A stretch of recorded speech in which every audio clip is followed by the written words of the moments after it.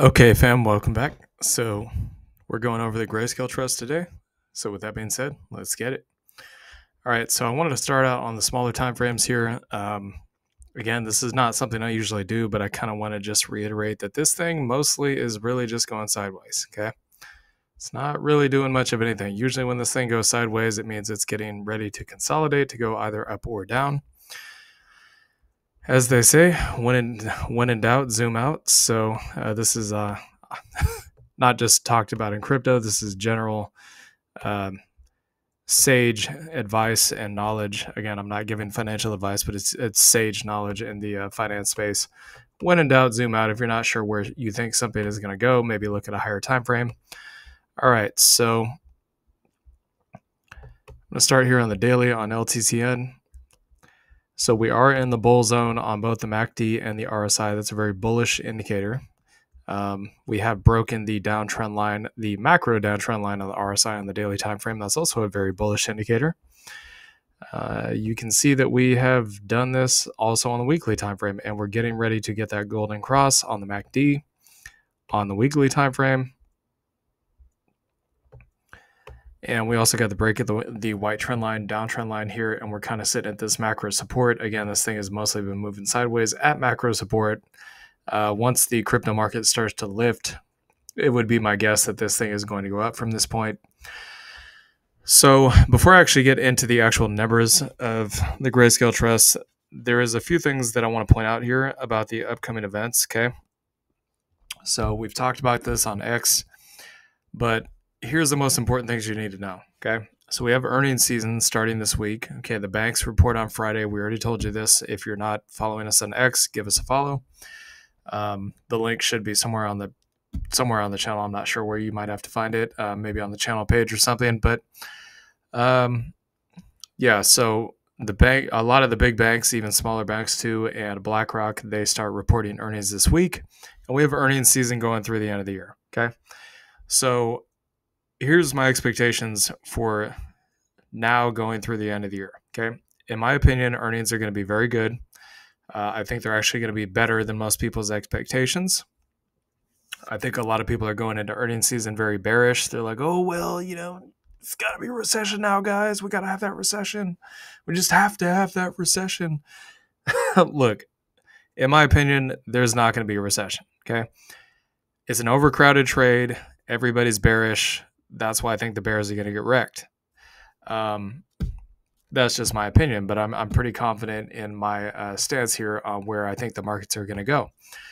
So there's that. Um, I think earnings are going to be very, very good. Uh, we also have data this week, jobs data. Um, trying to remember what it is. So CPI, I'm expecting CPI to come in slightly lower than expectations, indicating to the markets that they can rally because again, the inflation narrative is cooling off. A lot of people are concerned. They're bearish on the potential of the Fed cutting too aggressively, too fast. And oh, if they do that, then inflation's going to resurge. Guys, I'm pretty sure there's not going to be a, a resurgence of inflation. Okay. Gone over this before. When inflation surges, it takes a while for the Fed, after they hike rates, for the cooling aspect of inflation to actually begin. It's a lagging effect. Okay.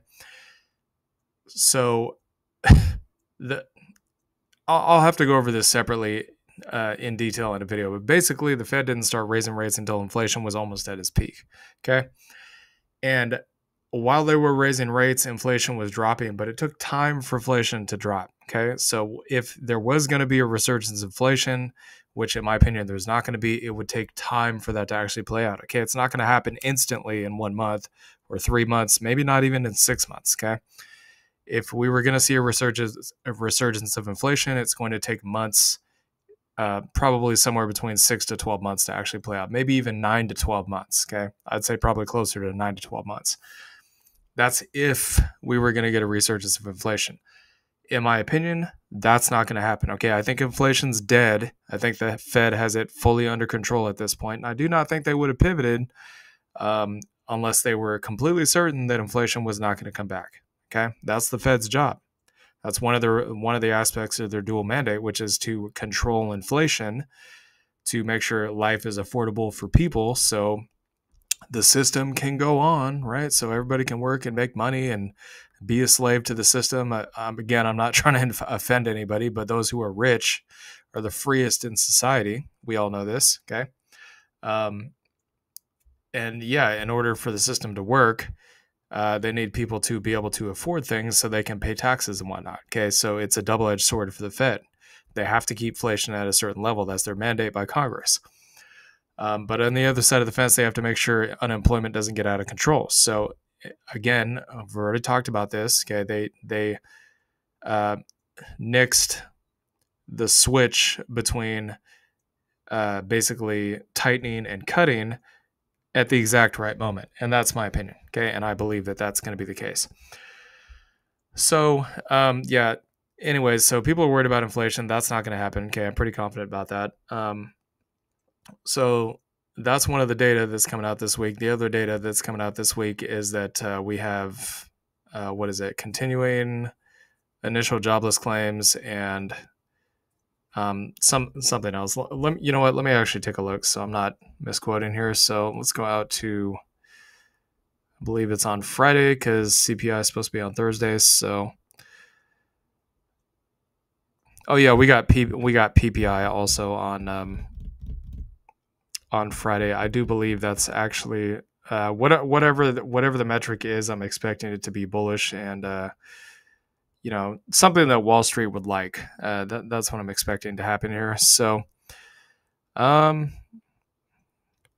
let's see. We got the PPI and really honestly can't remember what this other one was. Maybe it is on Thursday. I don't know.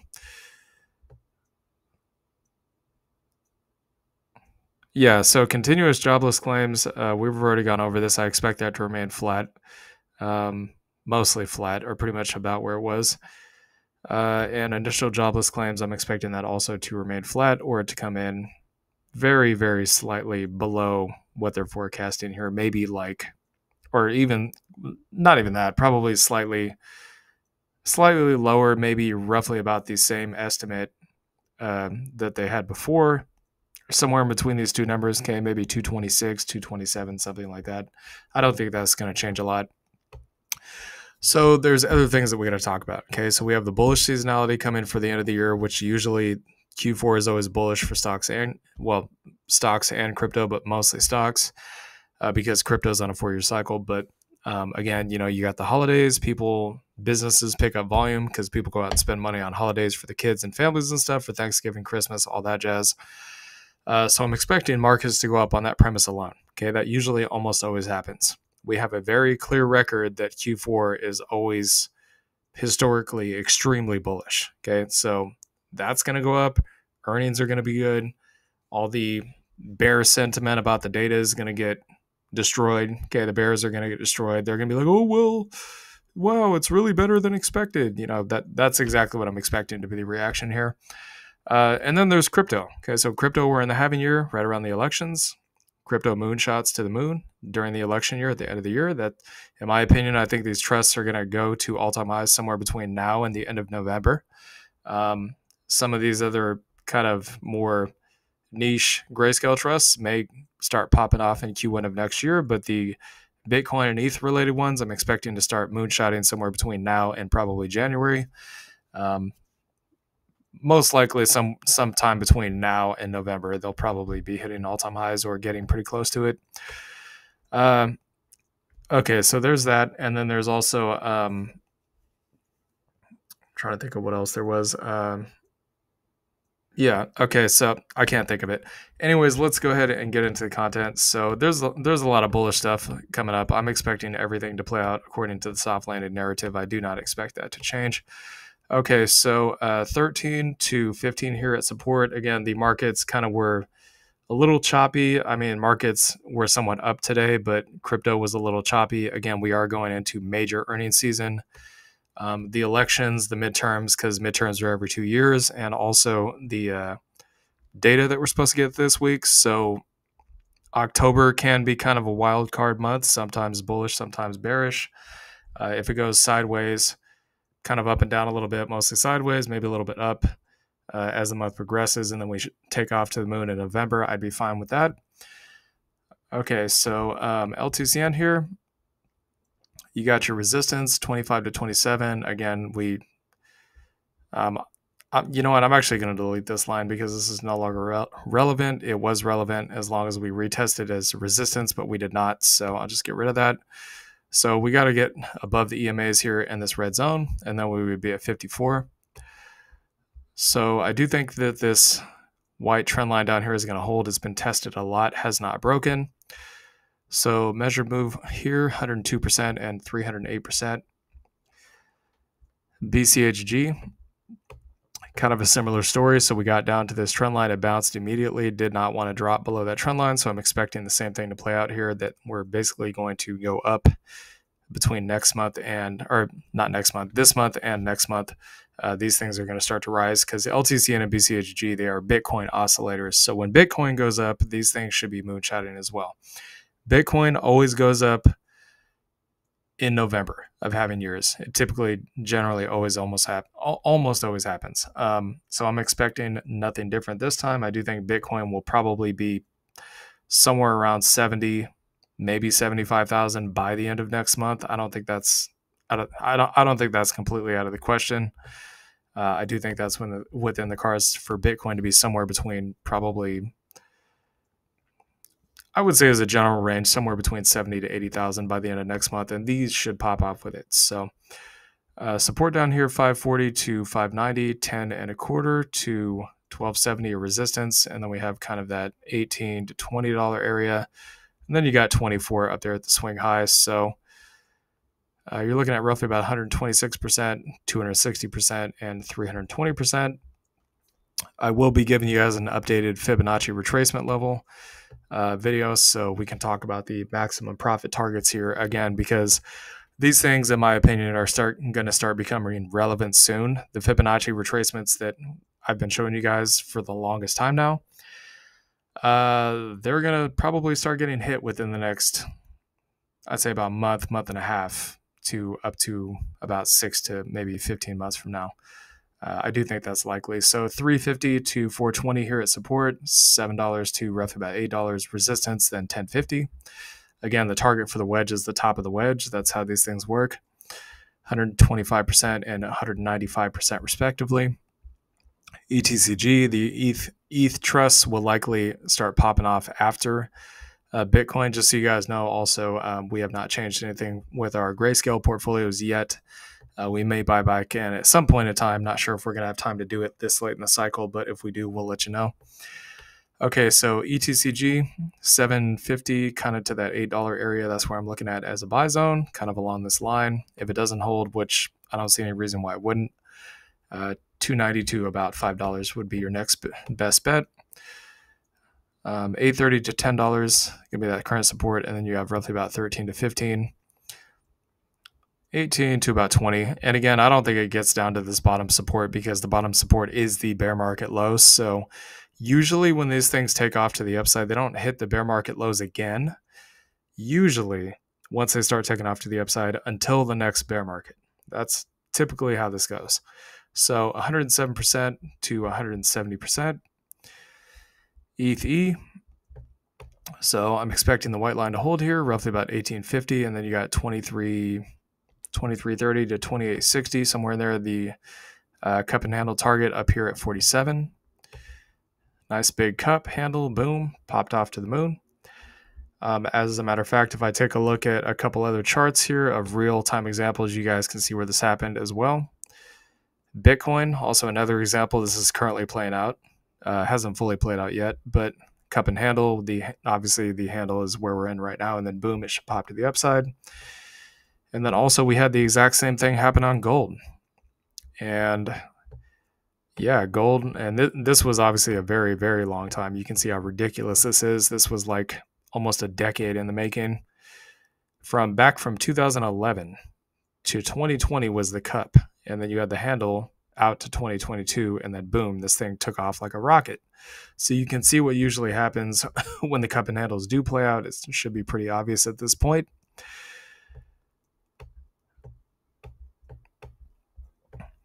Okay, so going back here, I'm going to give the measurements real quick. So from this white line, you'd be looking at roughly about 54% and uh, roughly about 156% respectively GBAT.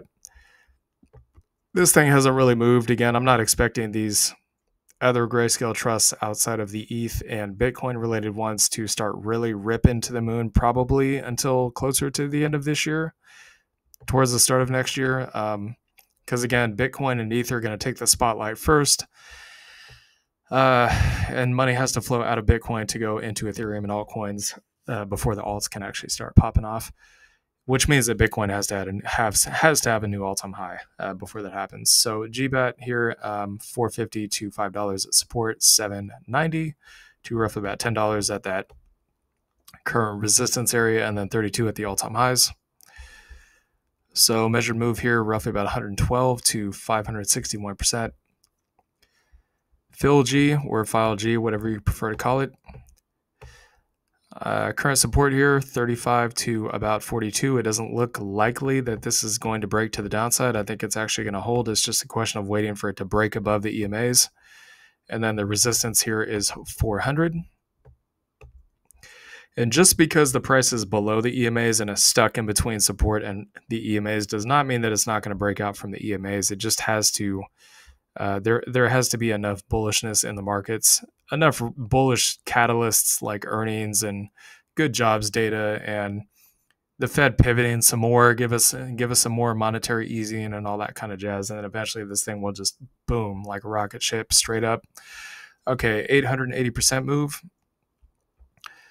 GLIV. So this one did actually have a very nice green day, uh, even though it looks like it didn't really do much of anything. Uh, so $12 to about 14.50 here. And then the all-time high is at 80. So 500% gain. All right, G-Link. So we had this nice little W pattern. Again, we're kind of pushing up against the top of these EMAs. That's usually a pretty early indication that we might be about to see a breakout. You can see a lot of these downside wicks. Uh, that's the bulls trying to step in there and smash this thing above uh, the bear zone up there. So 39 to 45, 65 to roughly about 85. And then that all time high up there at 220. So if for whatever reason you do get a pullback into these support zones, which at this point I'm not sure if that would happen, but you know, it's just something to keep in mind. So 112% to roughly about 445% move. GSOL, um, I, would still say 300 to 350 is kind of going to be the buy zone down there, and then the all time high at 580. Again, this thing's mostly just going sideways, so it could kind of go anywhere between the bottom of this support and the top of this resistance up here before breaking out. 97% move on this one. Again, if I just kind of show you guys that even though this thing is going up and down, it's mostly just sideways. You can kind of see within this box here, it's mostly just gone sideways. So anywhere in that green box uh, before breaking out to new all-time highs is a good buy. But if you want to uh, basically increase the chances of profit here, then the green box is what you might want to look at down here. Uh, so GXLM, Still sitting on the white line. I expect this to hold. So that's about 14.25. Then you got that 2020 and $24 up there. Uh, profit targets up here 52 to about 58.50 and then the $70 area is kind of that swing high so that is not the all-time high just so you all know that's just a swing high so 310% and 390% respectively mana we're kind of sitting pretty close to the white line. Again, it is below resistance in the EMAs, so that indicates that there's still time to buy. So $10 down there at, at that support zone, 1750 to uh, 20 bucks air resistance, and then you have the roughly about 70 up there at the all-time highs. So about 114 to 646% move. Zcash, so once again, within these two white lines, I would say anything in there is a good buy zone. If you're looking for the best possible ideal entry, roughly about this 315 is your best bet. You can see it has tested multiple times. I cannot tell you how much longer this is going to last. I don't know. Um, I do know that Bitcoin should be slated to be moving up to all-time highs here pretty quick. I don't know how long that's going to take. Maybe within the next couple of weeks, I would think would be likely when Bitcoin's going to start smashing past 66, 68,000, 70,000. Uh, I would I would think within the next two to four weeks we're going to see that start happening. Um, but the entire range here is roughly about three fifteen to six dollars. So above that, eight dollars to I'd say about 950 and then 10 and a quarter. It's going to be that swing high up there. So from the most ideal entry here, you'd be looking at about 200 to 225, 230% somewhere in there.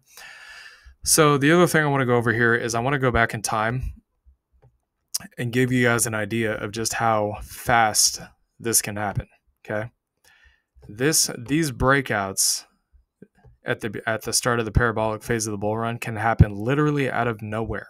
Okay. When we get like I'll show you an example. So you see this here? So you get a little tiny break out of this candle and then we go sideways for a couple of well, basically up and sideways for a couple of weeks. Nothing happens in here, right? And everybody's like, "Oh yeah, nothing's to happen." And then all of a sudden you get a break of this line, break of these all these previous candle highs here, and then we go sideways, and then oh sh- oh snap, son, what happened here? We doubled in price. That when we get to this point, that's when everybody's to be interested. Okay, that's when the FOMO is to kick in. So theoretically, people that want to be in early might want to be in down here. All right, which is kind of like basically pretty much what we're seeing right now. People that want to be in early might kind of want to be in at this macro support. I, I mean, I can't tell you guys what to do, but you got the MACD about to hit the golden cross there. Uh, I mean, we know what happened last time this happened. I mean, just look back here. Get your golden cross right there, October 2023. What happened? LTCN took off from $5 to $50 in a very, very short time frame uh, roughly about six months. So, um, but the the point, whoops, okay, I don't know what the heck I just did here. Hold on a second, y'all.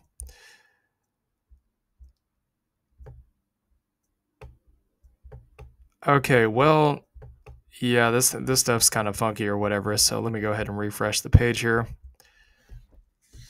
I don't know what I just did here.